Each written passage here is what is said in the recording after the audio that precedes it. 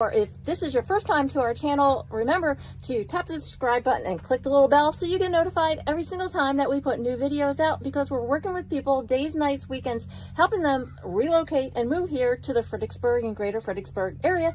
And in today's video, we're going to be talking to Doug about land. Yes, about That's land. it. The landman. the landman, and he's developed subdivisions, he's built homes, he's done commercial, he knows land, he'd be driving down the street.